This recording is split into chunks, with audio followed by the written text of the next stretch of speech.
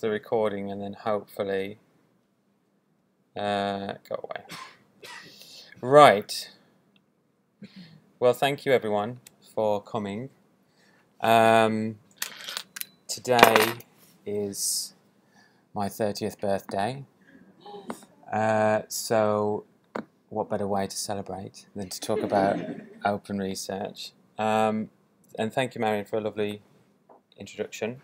So, last week, Verena gave a talk on open science and, and why we need it, and the kind of tools that we have at our disposal in order to fight crime and the forces of evil.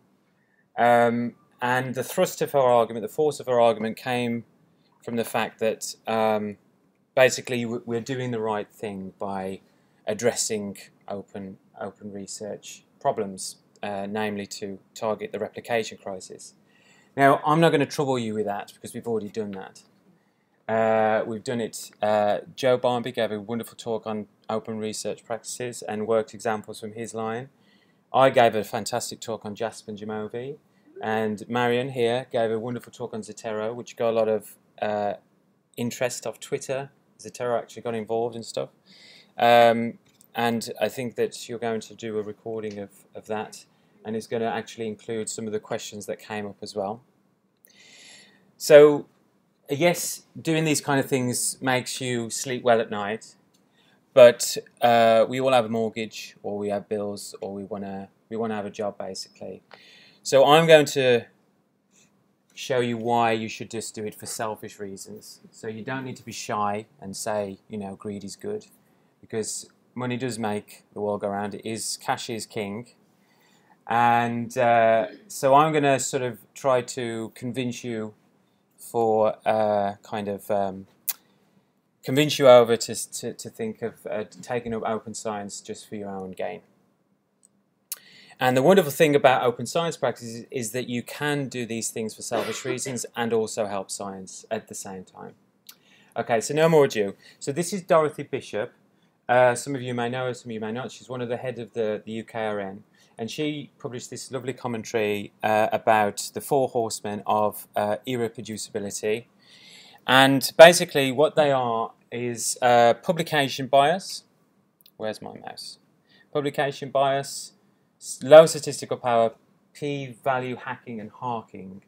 So I'm guessing everybody sort of roughly knows what these four are harking is hypothesizing after the results are known. So basically, you run a study, you find the result that you don't want, and then you kind of think, well, maybe the hypothesis was a bit inferior to begin with, so we'll replace it with something else.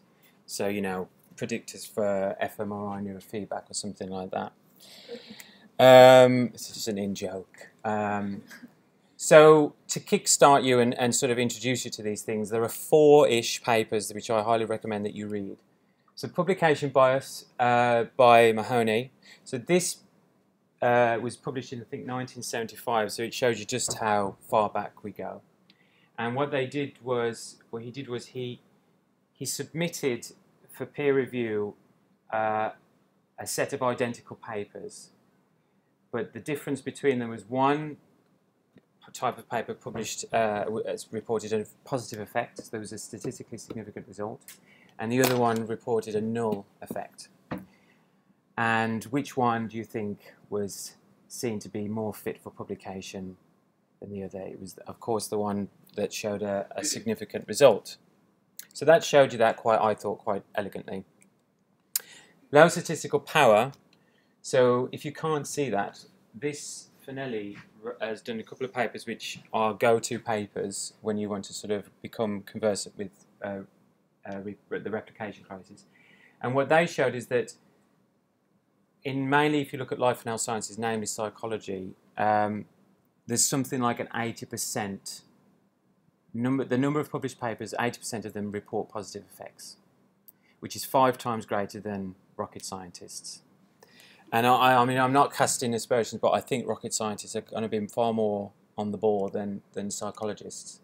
And this, and this is particularly uh, demonstrated in the fact that we are really scraping the bottom of the barrel when it comes to reaching statistical power. So by what by, what I mean by statistical power is uh, is your sample size adequately big enough to detect the effect that you expect? And what we see here is that we're not. So on the one hand, we've got all of these positive results, and on the other hand, we've got evidence to say that we shouldn't actually be finding them. So this is where obviously the low statistical power meets publication bias. And then p-value hacking and harking are kind of addressed in this famous paper by Simmons, which basically showed that just by playing the song When I'm 64 by the Beatles, people could be actually younger, not feel that they're younger, or is it the other way around? Anyway, their actual age changed. Okay, and of course it didn't change. Spoiler alert. Uh, what what what you see here is actually uh, an abstract that they could have written to publish, and they just reported selectively certain things, and then they massaged it into existence. And they did a lot of p hacking, so they dropped a few outliers. Uh, they did an ANCOVA. Uh, you know, they they um, they only reported the fact that they didn't get null effects. Anyway, it did demonstrate quite compellingly that we've got a lot of degrees of freedom in which to torture a, a significant result into life. And for more on this, you can look at these two guys, Chris French and Stuart Ritchie, who gave talks to the Riots Club, and their talks can be found on the Riots OSF. So, why do the Four Horsemen exist? As I've said, uh, one of the most powerful driving forces in the world is money. And this is uh, by Neuroskeptic, and it's Dante's reimagining of Dante's Circles of Hell. And you can see that uh, we get the further down you go, the like the worse it is. So you get the worst case scenario of what perverse incentives can do, and these are of course inventing data partial publication or selective reporting, non-publication, so just putting the uh, uh, no results in the file drawer, plagiarism, creative outliers.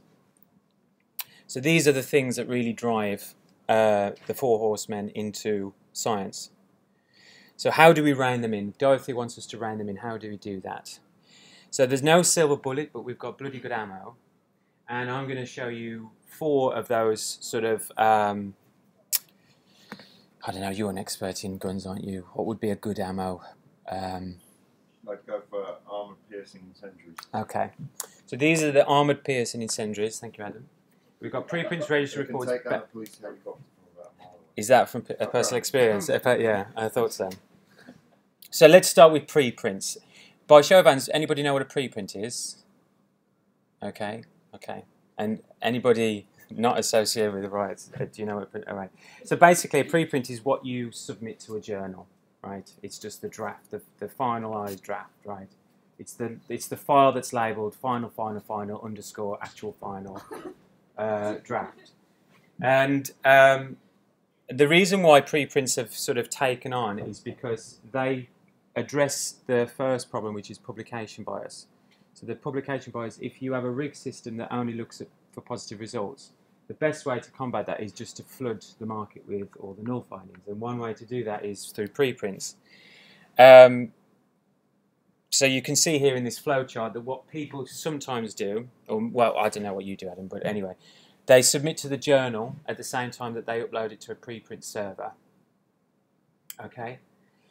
Now, the most famous preprint servers are for, for you guys, which are, I'm guessing, neuroscience, psychology, those kinds it's PsyArXiv and definitely bioRxiv for the geneticists in the audience. And there are, this paper here is a lovely paper and it shows you all of the different benefits of preprints. And I won't go into all of them, but I will just draw your attention to four things.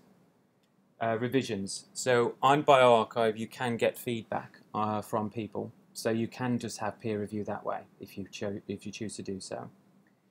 Uh, negative results, as I've said, you can publish negative results. But the, the, the, the ones that get people most aroused, if you like, is the career benefit and the funding benefit. So as I've said, the career benefits, right? So you increase your readership. So a lot of people that are upcoming starters, I mean, I'm talking mainly of Twitter, they all have preprints on PsyArXiv. They all get their name out there. They plug their message loudly and clearly, pumping PsyArXiv. You do get extra feedback. Now, there is an argument over whether this is good feedback, bad feedback, whether it should be anonymized, whether it should be, whatever. But you do get feedback, or at the very least, you get endorsements through retweets and so on, which is quite a nice feeling when you've had a crap day with you know, fighting with your PI and you get somebody say this is a really sound paper here. Um, but also you don't don't forget that you do get private messages as well, which unlike Adam are usually positive. With you, it's it's. Um, By the way, uh, Sam, when I'm not shooting down police helicopters, yeah. I'm occasionally on Twitter. Oh really? I wouldn't have known. Occasionally. Um, and, and there was a case recently where yeah. a, a woman had a paper ejected. Yes. Because she'd put it onto a preprint yeah. server, and the, the journal found it. And they said. "Oh well, this breaches the pre-published." Yeah. I'll come back to that. All right. So, uh, and obviously reach the public quicker. So, in fact, PsyArXiv has got a bot on Twitter that um, retweets it out automatically. Now, the the other thing is the preprints are recognised by the ref, uh, which is obviously a boon for us. Now, there are stipulations there, so it can be so if you it has to be the version that's accepted for publication but it just means that you can just put, put it out there already if that makes sense it's just it, it's more immediate rather than waiting for it to all be formatted and stuff um, and also these funding agencies do recognize preprints as actual credible output as well you know the united states uh, national institutes of health the mrc as well now, there are a few myths about preprints which Adam has, uh, has uh, mentioned. So they do. Uh, do they lead to scooping? Well, no. Uh, not at least in uh, in this sort of inflated way that people think. So pre uh, scooping predates preprints. You can get scooped from conferences. I've been scooped from a conference. but the thing about preprints is that they have a DOI, so they're timestamped. So if anybody deigns to steal your work, you say, well, "Hang on, mate you know, I did this last year, you've stolen my idea or something like that. And it's a huge embarrassment for the person who's stolen your work. And actually, some journals protect against that. Um, preprinting prevents publication. So this is what Adam mentioned. Now, Sherpa Romeo, I'll just uh, go on here. So Sherpa Romeo is actually tells you what the policies are for each journal, whether they accept preprints or not. So if we go to, I don't know, uh, Nature, uh, Nature Paris. Um, so here you go. You can have a preprint on a preprint server in Nature. Oh, you can't see it. Wait a minute. Hang on. Slight technical. Let's go back. Okay. there. So it's saying you can have that. Whoops uh, with nature. Uh, but there's also you also have to look out for the published version they prefer you not. To, generally speaking, journals don't like it when you publish the version that they actually formatted because they did it at a cost and they want copyright. But there are also other journals as well. Mo most of the journals actually do accept preprints. The case where what Adam was talking about, the journal actually did have a policy that accepted preprints, and it was a peer reviewer that said, oh, I searched for this person, I found the article, it's already effectively in print, I'm refused to review it. And there was a fallout of that. I don't know if it's still ongoing, but there are, there are those cases that, that, that exist, I'm not going to lie to you. But generally speaking, you're kind of safe as houses. Um, also these two as well, funders, Bill and Melinda Gates, Wellcome Trust, they mandate preprints for bioRxiv. You have to do it. Low visibility.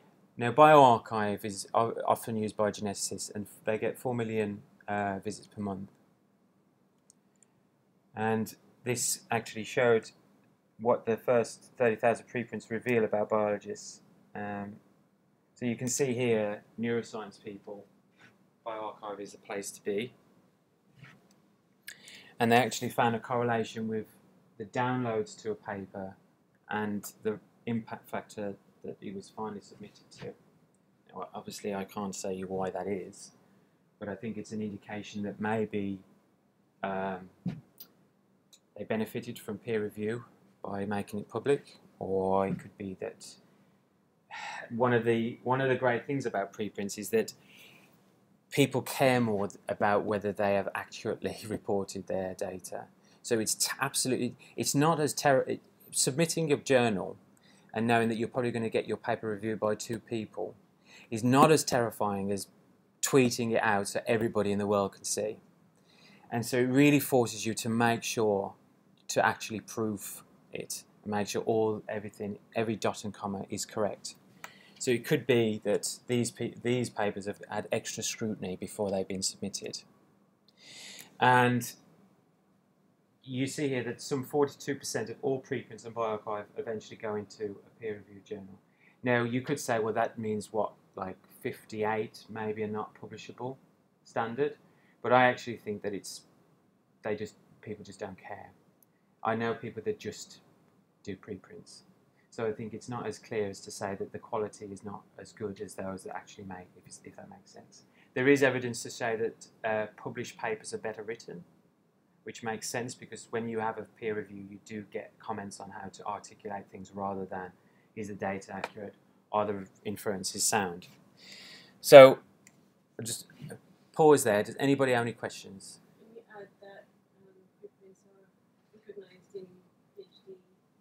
Oh yeah, so the yeah, so yeah, thank you, Marion. Uh, the guy next door, I was talking to him the other day, and he said, "Oh, you know, I'm rushed. I've got my thesis deadline next month, and I've got a deadline today." And I said, "Oh, you know, what's the deadline?" He says, "I'm submitting a paper. Oh, where, what journal?" He "I'm submitting to bioRxiv." And the reason why he was so pressured to do it is because with bioRxiv, there's a sort of a period where they have to assess whether it's a legitimate submission, and he wanted to, to fall when he actually can put it into his thesis and it be recognised as like a an actual preprint, or not a published, but it's an actual paper that's there and therefore recognised as not necessarily a thesis by publication standard, but at least recognised as it's out there and it's undergoing sort of informal peer review. Any any other questions about that? I'll move on. So, if if um, to use an analogy from a drug addict, if, if weed doesn't do it for you and you want something stronger like heroin or crystal meth, register reports is sort of the analogous argument. So you can do preprints, but register reports is a full Monty um, approach to addressing publication bias, harking, and low statistical power. Now, I will disclaim most of these slides have been ripped from Chris Chambers, who was pretty much register reports are his brainchild. And just the other day, he published this uh, article, a brilliant article that eases you into what registry reports are uh, in Nature, and it's, it's fantastic. So do read that. Now, the thing that registry reports are really good at is they address this results paradox. So I'll, I'll put it in Chris's words. So, what part of the research study, hypothesis, method, results, or discussion should remain beyond a scientific control? The answer, of course, is the results, the part that matters most for publishing in prestigious journals and advancing careers. So, in other words, you're putting Dracula in charge of the blood bank, right? You are trusting researchers to honestly report their results. And I'm not saying that everybody's out there for nefarious reasons to massage a, a, a p value into the significance threshold range. But I am saying that it, the temptation is there, and the temptation especially to look the other way. So registry reports really nail this in the in the chest. So a registry report is this. So basically, you register your protocol in as much detail as possible, and you submit it to whatever journal accepts registered reports. So you submit your protocol, and then it undergoes a round of peer review I'm not sure how long it takes. I think it's a, a few months, maybe weeks. Um, but it's very journal dependent. And then it undergoes a review, and then there's a back and forth between you and the panel of reviewers. So they actually refine your protocol. Now, I should say that this is all before data collection, don't forget, right? So that you're registering your protocol before you've even can see the results. And this is an actual example given to you on the OSF of the things that you should include in your registered report. So it has things like what is your hypothesis, list them, what is the ex data exclusion, when are you going to stop uh, collecting data, are you proposing any new data or any existing data, you know, what analysis are you doing, are you doing Bayes, how, you know, all of these things that you really should be thinking about anyway. It tells you to think about them. So, what then after that, you give uh, an IPA an in principle acceptance if they if it passes passes the muster, and you're free then to collect your data, and then you do everything that you said you were going to do. You write up the paper, submit it to the journal, and then they say, okay, you did everything you said you were going to do. Great, published. They don't give a damn about the results, null or positive. So it really again nails the publication issue, bias issue. If, of course, there's no continuity between the two, then they'll reject it. But at Cortex, I think it's 100% acceptance at stage two and 90% here. Okay, and according to Chris Chambers, the biggest thing that gets you rejection is desk rejection. So it's just inadequate listing of you know detail in your in your proposed in in that bit what I mentioned here. So the the again, Chris Chambers. So this assured acceptance means that authors are free to present results as they are without having to shoehorn them into a clean, compelling narrative. And the outcome is striking. So let's look at this paper here, which is a lovely, great paper too. So they wanted to see what re registered reports do to, to null findings. So they did a survey, I think mainly of psychology and life and health sciences. 66% of registered reports for replication studies did not support the initial hypothesis. Now think of what I said before about that 80% positive result rate I, I mentioned at the beginning. A novel studies was 55%. So you can just see in red the traditional non-registered report research. And that's the estimate for conventional reports. So it is possible that researchers opt this for this format when they think that null findings are likely. That's true, but who cares? They're publishing no results, and no results are really important. Anne Scheel is, is doing also similar work. So she compared registered reports with non-registered reports, and she finds similar things. So as you can see here, this is basically showing supporting the alternative hypothesis. 43% versus 96% for non-registered reports. So it's it's all kind of showing the same picture. And if you want to ask Anne about anything that, about her work, you can see her on the 24th of October. And I put this soon to be doctor because she is still a PhD student and she's just absolutely killing open research at the minute. She's with Daniel Lake and it's just, she's extraordinary. Anyway, so who does, you might want to, want to know who does registered reports, what journals are out there. Uh, so there's 207, but bear in mind that doesn't might not seem a lot, but look at the sort of exponential uptake. So this every time I see Chris, he, he says like, "Oh, last time I met him was in I don't know June, and he was like 130 journals, and now it's September and it's 207."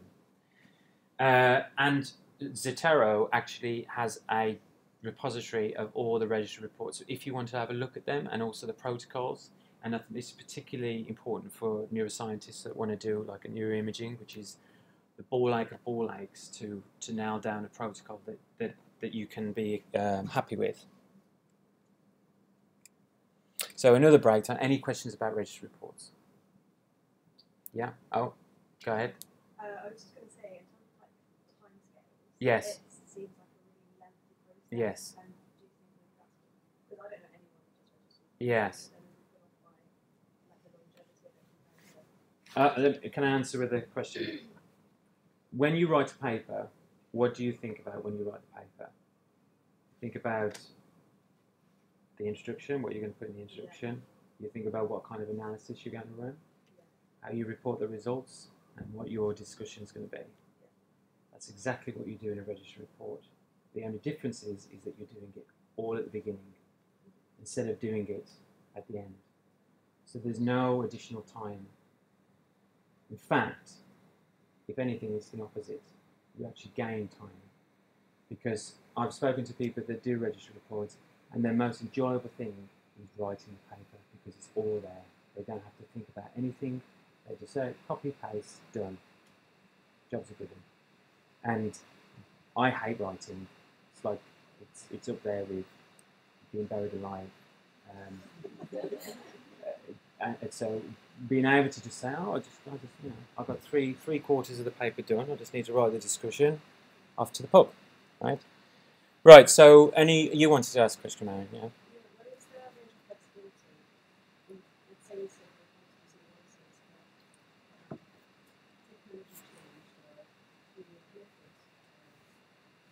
Yeah, I've, I've, I've heard a similar question. Sorry, I interrupted you. Uh, I have, I've, I've heard similar problems with like if PhD students do it because they're. Um, I was thick as pig livings when I started my PhD. So if I cobble together some sort of protocol, I know I'll, I, I'd want to you know put it under the carpet and nail the carpet down and never look at it again by the end of my PhD the thing is, my, my response to that is is you know you shouldn't be doing research in the first place if you can't really adequately put together a protocol and discuss and, and really think about it. The other thing is is that the thing what registry reports do brilliantly is that it makes the distinction between what you expected and the exploratory stuff. So if you were to find something interesting and fantastic that was published, you know, the day before you you, know, you collected the data, you can say, okay, this is what we set out to do, but we found all this other cool stuff which we're going to do as well, but we kind of don't know what to expect, and it wasn't predicted as part of the original protocol. You don't get that in a peer review paper as it's conventionally done. You just see the result of all of that exploratory stuff. Okay, does that make does that make sense? Yeah, it does, but let's say I'm looking at a managing project for you, Mm-hmm. and you have all the compounds that are necessary. Mm-hmm. And four better pipeline are out Mm-hmm. and then can you actually say you want to change the pipeline you want to use and then compare it to this now? You can still do it. I'm not saying you can't do it. It's just that you said you you promised to do one thing. Yeah, the one thing you promised to do is actually outdated now. That's fine, though, but you can still do it. It's just that you're being transparent about the fact that okay, we tried to do one thing, there was a better thing, then we're going to try that. Okay, and in fact, in a way, it's actually good you say, well, it is actually crap. The new thing is, is better, but the fact that we we're trying this out on this new data, it's new, hasn't really been fully validated yet, but you're making that distinction, which is really important. Okay, so the next thing is uh, the fourth horseman, which is low statistical power, and I think it's ugly twin uh, statistical ignorance. Now, I'm the first one to say I am statistically ignorant, so I'm part of the problem. Uh, so I'm trying to um, scrub my reputation clean by doing this talk because of, because of my ignorance. So, if there is one paper that you should all read uh, before bedtime, it's this one paper here by Kate Button. Uh, it, it basically shows you in neat detail why power is a problem and what it can do to really distort and disfigure research. Um, there's so much in the paper that it's it's difficult to sort of capture, but there are certain things that really struck me about about this paper, and this one in particular. So I'll just give you a quick example. If um, just as a demonstration of how important statistical power is, let's say you were to run a study and then you run another study and try to replicate the study of the first. Let's say if the result you got was just passing significance, so 0.05. Now you run it with the same sample, the chances are, I think, you have a 50% chance of getting the same result, statistically speaking. If you want to know more, read, read the paper. But that really struck me, so it really kind of puts in a different colour of light why people can't replicate other people's results when they say, oh, this other study, they, they had a sample size of 12 and I've got a sample size of 12. It's clearly they're talking rubbish. It's, no, it's just that the law of probability is that you just found noise. Um, but this, I've already been over this, what statistical power is. It's just the probability of finding a, um, the, the, the finding that you expected given the sample size that you've got. And the reason why statistical power is, is a problem and one of the four horsemen is because if you are underpowered and you find a significant result, what does that actually mean? Right? So I will go on to this, but it's just something to hold in mind. What does that mean when you find a significant result when your study is technically underpowered? Or likewise, when you find a null result and it's underpowered? How do you treat those two thoughts? Um, but first of all, I'm gonna I'm gonna ask the audience. Does anybody know what a p-value is? Actually, can anybody give me a definition of a p-value? Do you want to give me one? Okay, it's one. Anybody else? Okay, so the probability is it's effectively that, right? So the probability is of getting observed uh, data or extreme one, given the null hypothesis is true. Okay. What a p-value is not is the probability that you'll observe some data, but it, uh, it's not the probability of the theory, okay, which is an often common misunderstanding. And I know this because there's been loads of research now to show that most statistical textbooks for undergrads say it's this and not this. Oh, I thought it was if you reran the experiment a hundred times, you'd have a... Which is, yeah, so just wait, Adam. Uh, so, yeah, so basically what Adam's saying is that the frequentist philosophy to statistics is that it's likely in the long run that this effect will be borne out. So it's a kind of a, it's an indication, it's a low resolution indication that there is something. And that's why John Ioannidis is against dropping the p-value because it does have some value. Um, Isn't it also a bit conditioned on the model? yes. Yeah, yeah, yeah, yeah, yeah, yeah. I won't get into this. Um, now, what I said before about what is it when you get a null result or a positive result and your and your study is underpowered, right? So what happens is, is that you obtain a positive result and you you just reject the null hypothesis. In fact, I was in a conversation yesterday with two senior academics, and we were trying to scratch our heads over null findings. And they were trying as much as they could to explain why there was a null finding. And then one of them said, Yeah, but you know, if it was positive, we'd just say that, oh, there's an effect there. We wouldn't sort of explain away the positive result. Maybe it's chance, maybe it's just noise. So there's an asymmetry, in other words, in how we treat null findings or how we infer null findings and positive findings.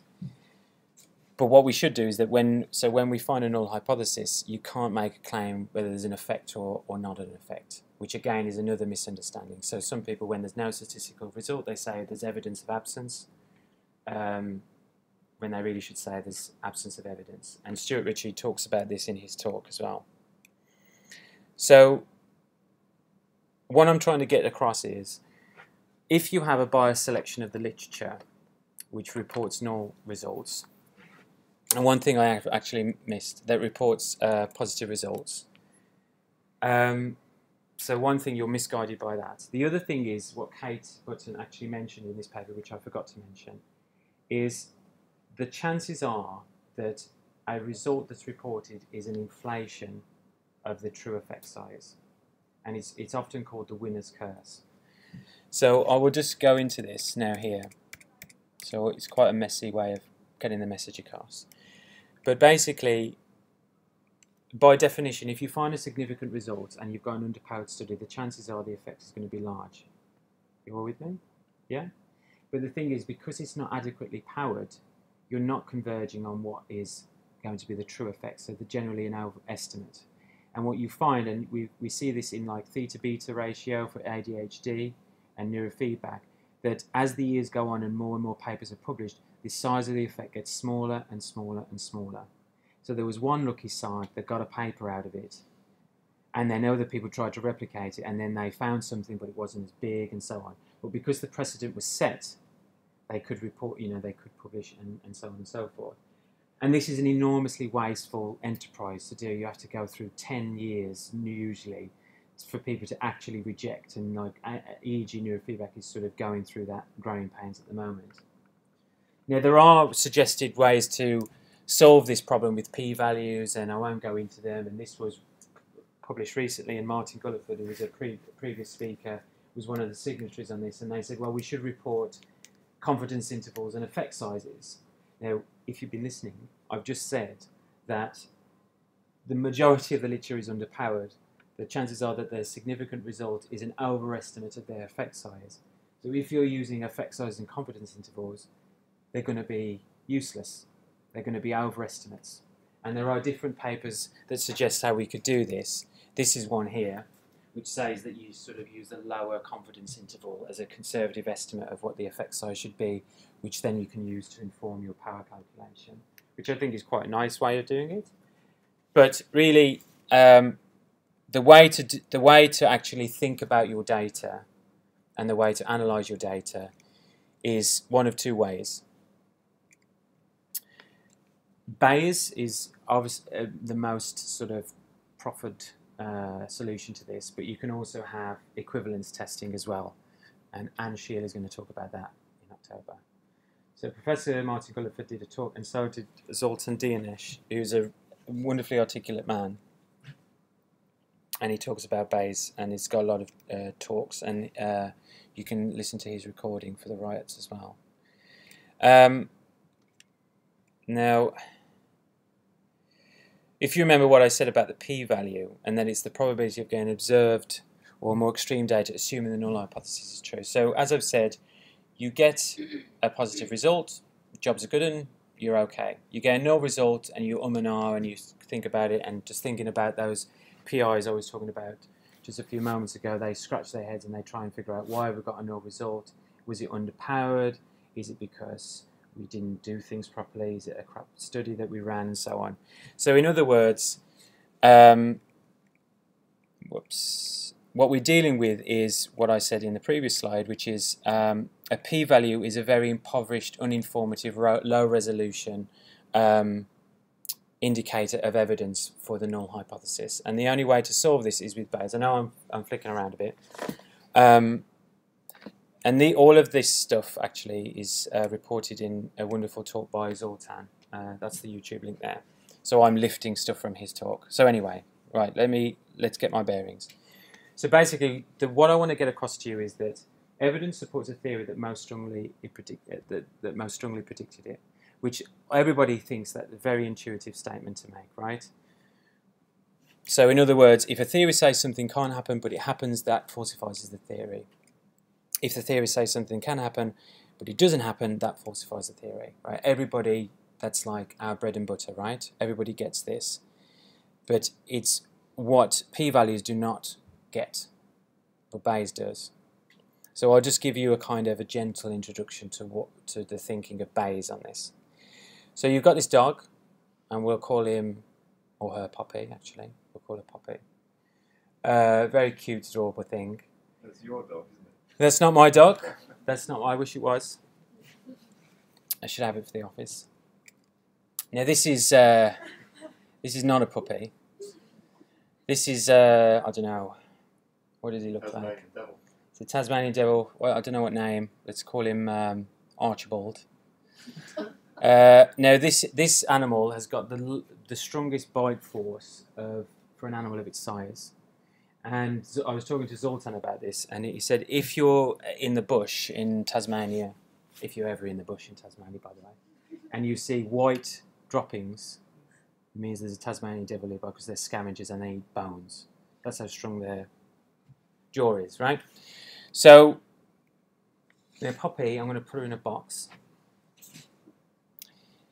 And I'm going to be devilish, and sometimes I might put the devil in the box, okay? So there they go, and I'll pack it away. So you don't know whether the devil is in the box or whether the dog is in the box. They're not together, so don't worry. And I want you to put your hand in the box, okay? Now, uh, I didn't get ethics for this, but um, I went round. I went round KCL and I knocked on a load of PI's doors, and I said, uh, "Would you would you do this experiment for me? It's fine, it's safe." And so I asked people to put their hand in the box, and the dog, poor puppy, one out of ten times she bit the person, took the finger clean off. The devil is nine times out of ten. Okay. So there's a lot of people with a missing digit. So Ling, who's uh, in our office, uh, there's certain things that she can't resist, and one of them is dogs. And so when I say to her, oh, Ling, I've got this box and there might be a dog in it. So she says, oh, well, give me the box. So I say to her, okay, Ling, put your hand in the box, and I just sort of see what happens. So which one do you think is the likely outcome given the data I've given you? One out of ten chance that the dog will bite her, or nine out of chance that the devil will bite her. Which hypothesis is more strongly supported given our prior? Which one do you think is going to happen? What's the most likely outcome? The devil. The devil, right. Thanks. Okay.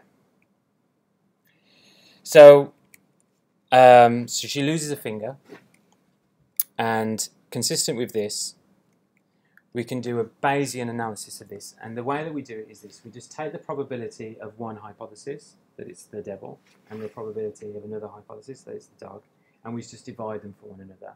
Okay, and we actually get a Bayes factor of nine.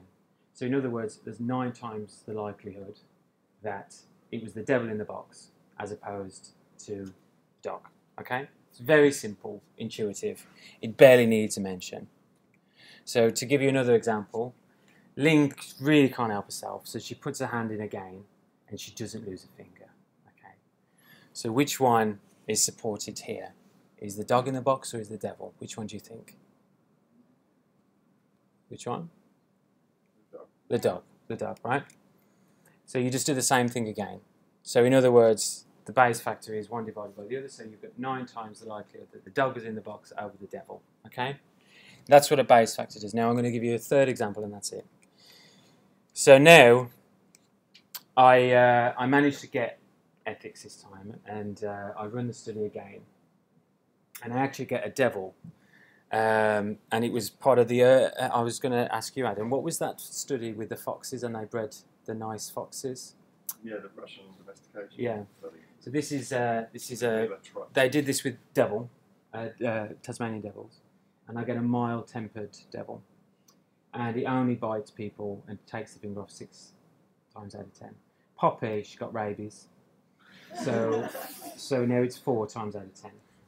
She's just she's riddled with it, and uh, so Ling, really diff- hard to learn. This girl, uh, she puts her hand in again, and uh, she loses a finger. So now if we run the Bayes factor again and divide the one probability against the other, we get a Bayes factor of 1.5. So we don't really know. I mean, on one hand, it's, it could be 9 times out of 10 it's the dog, the other times it's 9 times out of 10 it's the devil. Here's 1.5. You wouldn't put money that there's a devil or a dog in there, right? Are we all kind of, you all with me?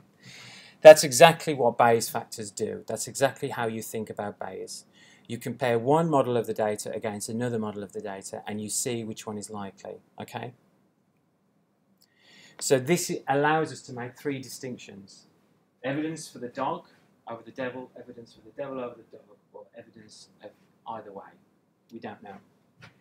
This three-way distinction one cannot make with p-values. You either have a significant result or no result. So they do not respect the idea that evidence supports a theory that, may, that most strongly predicted it. And why does this matter? So, another way, this is another way of sort of the notation of it. I won't go into the statistics of it. And I will come on to why this matters in a second, but just so you can interpret Bayes factors, I don't know why this square is here, but basically it's like this. So basically, the way that you can interpret th- this guy, actually, I'll, just, I'll have a digression.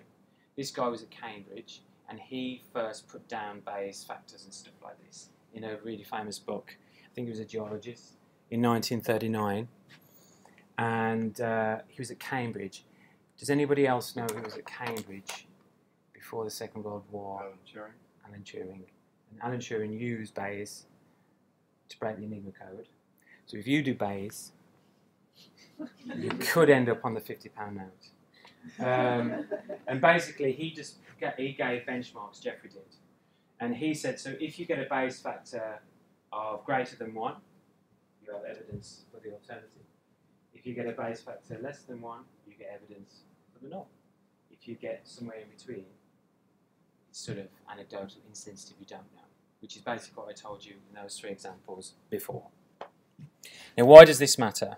Why does this matter for statistical power? Now, in Geoff Cumming's work uh, here, he talks about the dance of the p-values. Has Anybody seen this before? The dance, right? So basically, he did, he did a, a bunch of simulations, and he showed that when you run the test on different samples of the data, you will find you will always get different p-values. It's quite an elegant demonstration of just how much noise and chance plays into our findings. And he, he listed the p-values here. This is actually taken from the, the YouTube video Zoltan did. And what Zoltan did, he calculated the Bayes factors for each of these p-values. So if you get a p-value of 0.23 at the bottom there, uh, like I did yesterday, uh, when I found out my past year of my life we found nothing. I, w- you know, uh, you know, it's it's not a good day. Yeah, yeah, exactly. And you know, stuff like this, it's a real, it's a real, it breaks your heart. So Zoltan did this, and he calls it the Tai Chi of uh, Bayes factors because he thinks they're more graceful. Now, as you, as I said in the previous slide, I'll just go back. Whoops. Uh, I said here that anything above one and everything below one is fine. But Jeffrey actually nuanced this a bit, and he said anything between a third and three is kind of insensitive. Okay, so a more stringent criteria is that anything above three is uh, great for the alternative. Anything below 0.3 is great for the null. So let's have a look at our whoopsie daisy, our Bayes factors again. So 0.23, we get a Bayes factor of 1.73. So it's we don't find anything, but it's actually going a little bit towards the alternative, right? It's going towards that three mark. So it just means it's insensitive. We don't lose your hair. We could just get more money, get a big sample, and we'll see what happens. Here, uh, we've got a p-value of 0.817 and quite a, a lean towards the null, right? So you've got two p-values here that are both non-significant. One is leaning towards the alternative, and the other is leaning towards the null. This is a distinction that p-values cannot give you. The only way that they can give you is, is through ruining your eyes, reading the literature and seeing whether something is plausible or implausible and to try and interpret it a million different ways. Bayes factors relieve you of that slightly. So how do you do Bayes? Now I'm, I am cognizant of time, so I've got seven minutes, so I will be brief. So you can do Bayes in JASP, and you can look at my my tutorial on JASP, so I won't trouble you with it. So this study here, so this is this is JASP, and I've just got this data from the data library, okay? And uh, it's basically looking at a reading intervention. And I'll just direct you to here. So it's an independent samples t-test, and this is significant with a, a decent effect size. I mean, if you if you were a psychologist, you'd be you'd be chuffed with that, right? Uh, so it looks it looks good. You know, Uh, you know, it's good. It's good news. Gravy. Now I ran a Bayes on this, right? A Bayesian analysis here. Now, do you remember what I said uh, about 0.45? Now that's leaning towards? Leaning towards the null, right? Now you can actually show that here. So whichever way you look at it, the data rests in sort of the insensitive anecdotal bit. Now the reason why what this graph actually shows you is something that Bayesians have difficulty with, which is the prior probability. So in the example I gave about the dog and the devil, I made up those numbers. But what you have to do, you have to do the humble work of going around reading the literature and thinking what is a probability of the null versus a probability of the alternative, put that into your Bayesian calculation, and then you can give an, a sort of a, a more precise estimate of what is more likely the null uh, alternative or if it's insensitive. Um, but this actually gives you a robustness region, so it just tries all the different prior probabilities you could do. Okay, and it shows here, no matter which way you look the evidence. Sorry, yeah, the evidence is for H1 here. Sorry, I got that wrong around. I did that. But anyway, any prior probability that you put, it's always in the anecdotal, so you need to have more data. So um, if you want to know how to do Bayes, Dan Quintana actually did a great paper here, and you can actually go go to the paper, run the analysis that he did with the data he had, and he will give you step by step sort of instructions of how to do it. Um, now I'm yeah, so I've got four minutes. Um, should I just use those for questions? Okay. Anybody got any questions about what I've just discussed? No, Can or you? map on the um, p-values onto Bayes. So yeah, you'll notice here that there is a sort of relationship, and and Zoltan said that he's looked at hundreds of Bayes and p-values, right? And he said there is a relationship only if the effect that you predicted is the effect that you got, and usually when it's borderline. So uh, say a three for the what was it? I can't remember these things. So um, you could get say. Um, a p-value of 0.05 is about three.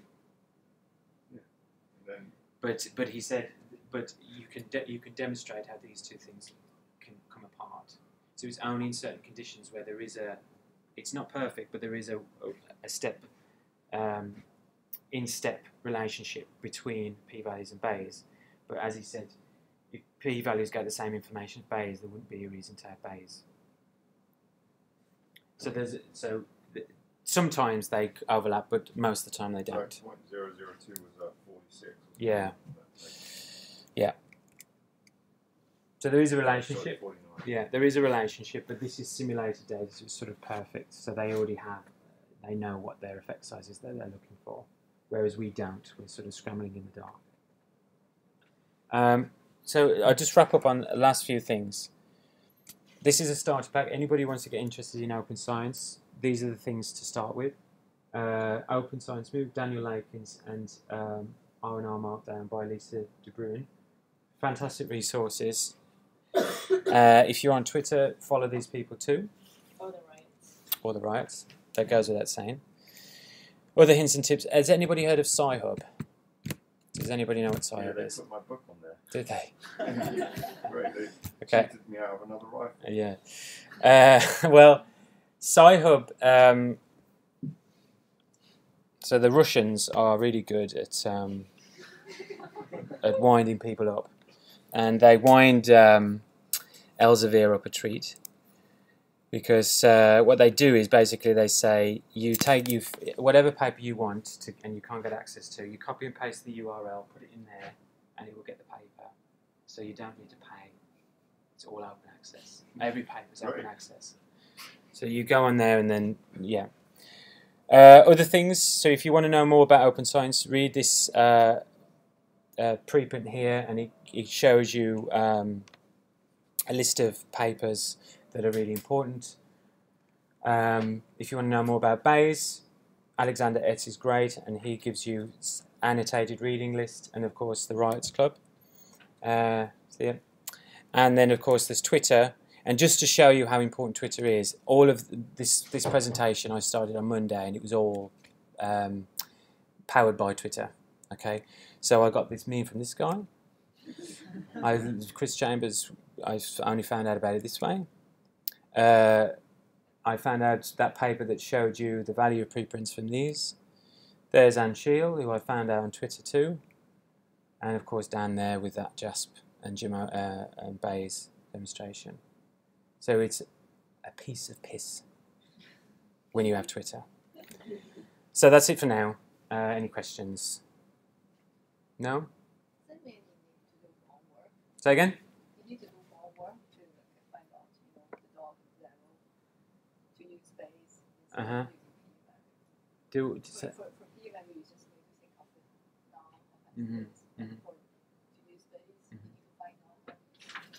Yeah, I think a lot of people thought of that. but they- Yeah, so that's why. So in Zoltan's talk that he did for the riots, he he kind of he dismisses that, and quite rightly so because it it it, it kind of is a non-problem when you do this bloody thing.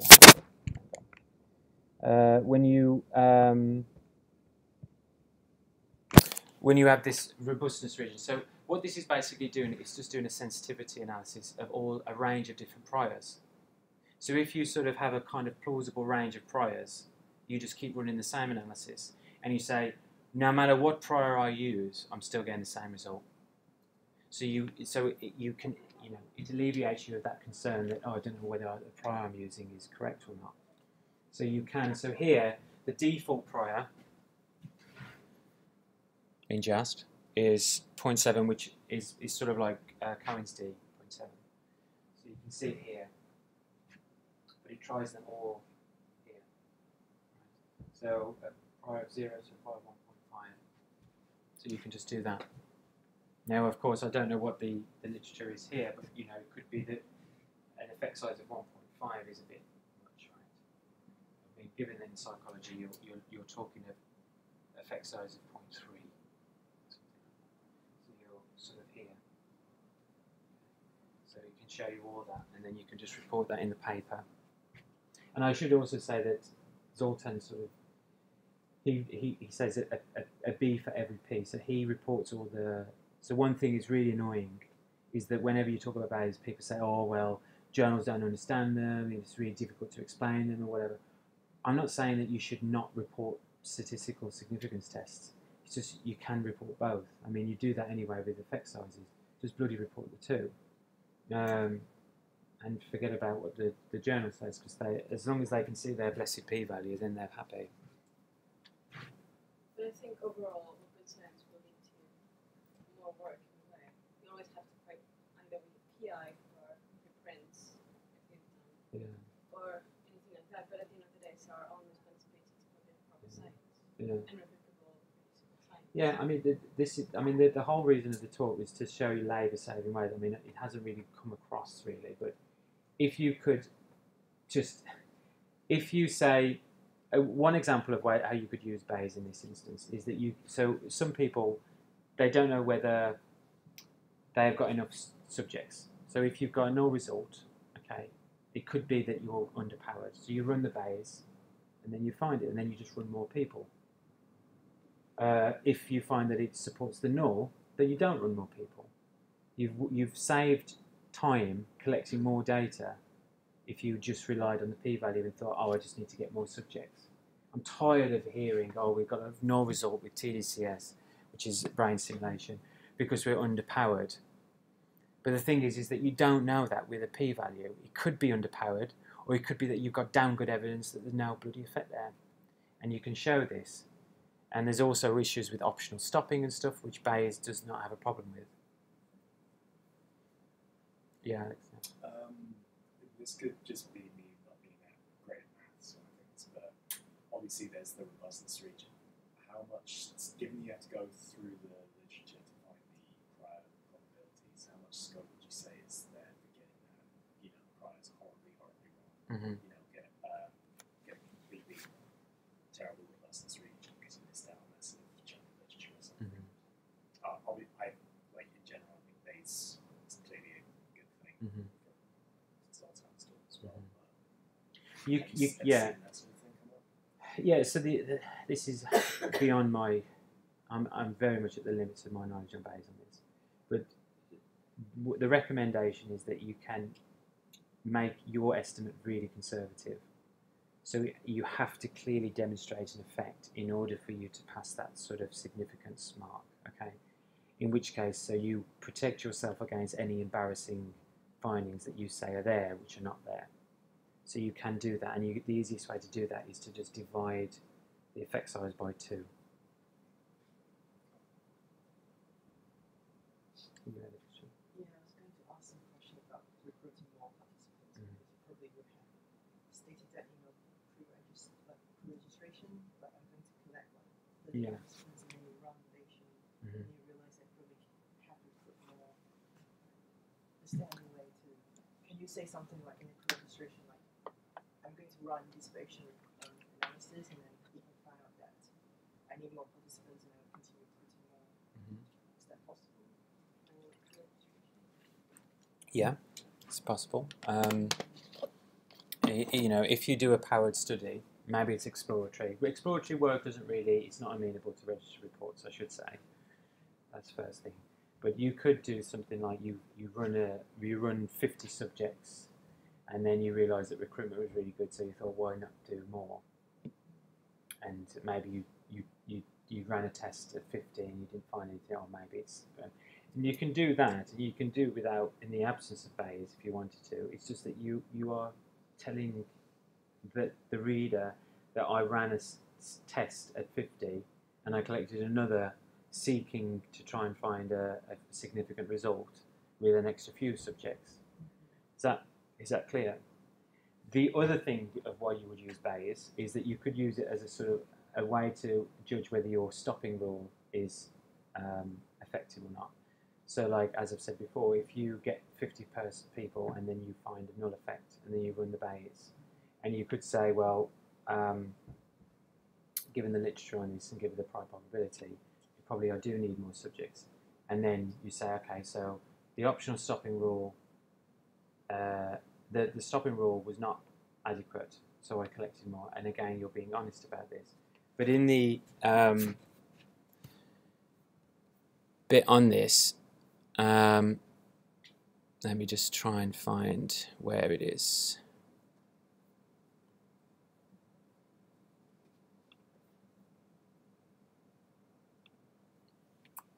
Um, it does say somewhere about stopping. You can actually say that there's no stopping rule, or you could say there might be an option to continue collecting data. So, how many options will be collected, and what rule will you use to terminate the data collection? Um, so, you, you know, data exclusions, and it also says, you know, if you're using Bayesian methods, what is your prior and you can say that. But you can. It's just the whole point of registry reports is just making it absolutely transparent all the decisions that you've made. So you don't really, and so long as those decisions are justified, you've got nothing really to worry about. It seems there's some kind of ghost factor operating though, because long before all these excellent efforts, um, some areas have been having much more repeatability than others. Mm. Like Personality. personality said the results are much more replicable than Mm. most. Mm. So why do you think? What is that? What were they doing right all those years ago that caused that? Is it a s- a field-specific thing, or I think it's where I think it's where the money is. I mean, is personality lucrative? Not really. So you just get. Um, I don't know how to put this. Uh, neuroscientists, and you know, there's a lot of money in neuroscience and genetics. So there's a lot of competition there, and there's a lot of race to the finish. So you're going to get people that cut corners and compromise their rigor, and the competition for careers and job opportunities is much fiercer in those fields. So that's where you will find there's a difference in distribution in where the quality of research suffers. Whereas with personality, but I'm not saying that personality have not gone through that. They may have done when it was particularly fashionable, but I don't know. the, social psychology's been the other way? That's been mm-hmm. terrible. It's just In fact, after failure. In fact, um, uh, Fanelli, um I can't. I the he shows the hierarchy of uh, the sciences, so it actually shows you like physics, they're quite replicable, and as you go down, psychology is like the Does it worst. also kind of depend on like how tight the thing is that you're measuring? So, for example, like with Yeah. like genetics, you've got like power issues, and you've got like in terms of like how noisy it is that you're measuring, so you're more likely to measure the same thing, but actually you measure something very different. Mhm. Whereas something like physics, it's not too much, so you're more likely to measure it with time because you're actually measuring something. Yeah, it's yeah, uh, yeah. So that that picks up on another point, which is, I think, going to be the next crisis in the replication crisis is the measurement crisis. That we're not measuring what we say we're going to measure. Um, so it really undermines our power calculations because our effect sizes are based on the measures that we've used. And I can't give you a you know a stonking good example of this, but I think we can all know that. I mean, Marion in Marion, her expertise is in is in inhibition, and uh, every which way you could define it, inhibition, it's been done, and uh, we don't know whether we are actually measuring inhibition or not. Because we cannot Yeah. measure because yeah, there's, n- there's nothing that you can hold it up against and say that's a sanity check. But also We're really how do you measure something Yeah. that doesn't happen? Inhibition per se is something that does not happen. Mhm. So how do you measure that? How do you model it to exactly. make sure that you're right? It's um, to my point of view, feels specific as in even in psychology you have things that are predictable, but in, in inhibition is just whatever happens happens. Yeah. But I have to keep it short, I'm afraid. Okay, Um, yeah. I just would like to um, take 30 seconds of your time, first of all, to thank, thank you all for coming, but to thank Sam um, for creating the riots and for giving um, what fourth or fifth talk with us. Um, Sam is an amazing scientist, an amazing colleague, but also an amazing friend, and today, as Aw. I've said, is his 30th birthday. So Mhm. if you can all um, join us. Oh, sh- I wondered why she'd gone out there. bloody blue. I, you almost dropped it I was gonna put a candle, but thank Uh, God I didn't yeah. because I was out there for ten minutes. Oh, but happy look at- birthday! Thank you very much. Oh, thanks, guys. Jen's cheesecake. Thank you very much. Wow. Well, do we, do you want to all have a piece? Have we have we got any I'm sure cutlery? we enough for everybody. We have one cake, but um, Well, we can. Have we got any? Have we got any cutlery or anything? Should we ask the? I'll just go to the kitchen. Oh, dear me. my God, I was there. Was I was I talking too much? I was Answering too many questions. And my, my arms and Marion kept looking at me, no, not now. No, not now. Facial expressions I could see.